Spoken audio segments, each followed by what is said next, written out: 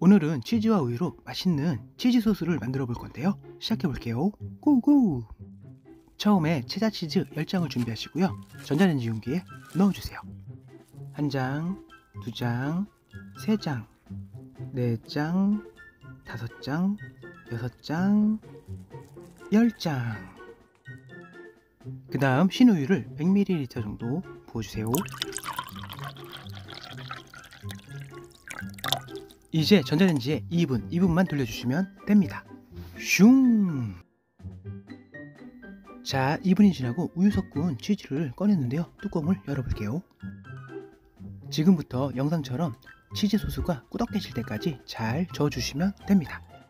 마구마구 저어주세요. 아, 잠깐 한 가지 빼먹은 게 있어요. 매콤한 걸 좋아하시는 분들은 청양고추 한 개를 썰어서 넣어주세요. 지금부터 치즈 소스가 꾸덕해질 때까지 잘 저어주시면 됩니다.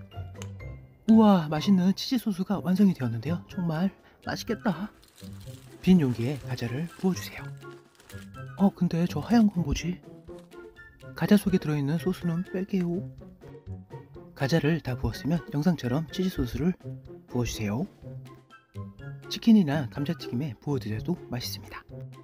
우와 이제 완성이 되었는데요. 어때요 여러분? 치즈 소스 만들기 정말 간단하죠? 음 치즈 소스 정말 맛있다. 여러분들도 한번 만들어 드셔보세요. 정말 맛있다.